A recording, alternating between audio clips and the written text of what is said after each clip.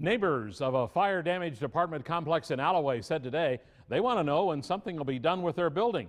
So far, it's been nothing. Just more than a month ago, fire destroyed Hilltop Apartments in Allouez. It displaced more than 100 people and caused more than $3 million in damage. Fox 11's Beth Jones is back on the scene this evening in Allouez. And Beth, what can you tell us? Now, as you can see, this pretty much looks like what it did back in May, and it's still unclear when the cleanup process will begin.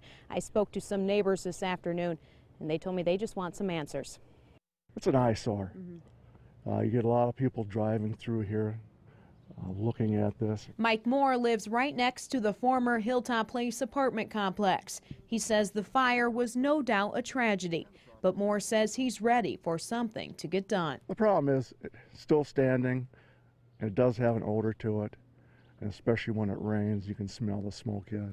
And as you can see, they're not maintaining the property outside the security area. Right now, a fence blocks anyone from entering the property. Security is also there 24-7 to keep an eye on the charred remnants. We're providing security around the property to protect not only the uh, people from the dangers of the leftover fire scene, but we're also protecting the property that's left behind the fire uh, such as uh, personal property that can be salvaged. Officials with National Security Investigations say they were subcontracted by another security company that was hired by the property owner's insurance company. However, they say they do not know when cleanup will start. We have not been given an official timeline.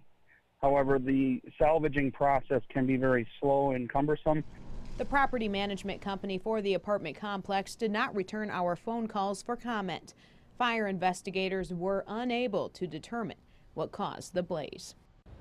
Now a relief fund has been set up at North Shore Bank to help those displaced by the fire. Organizers told me more than $26,000 in donations have come in, and those funds are expected to be distributed to the victims next Thursday. Live in Allouez, Beth Jones, Fox 11 News.